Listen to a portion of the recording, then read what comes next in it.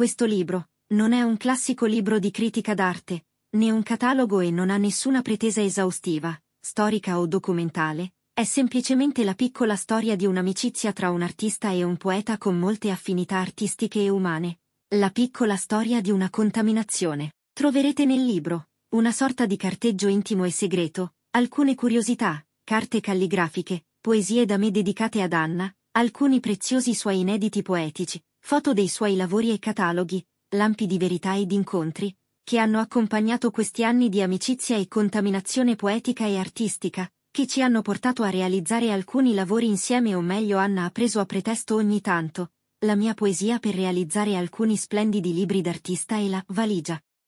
della creatività.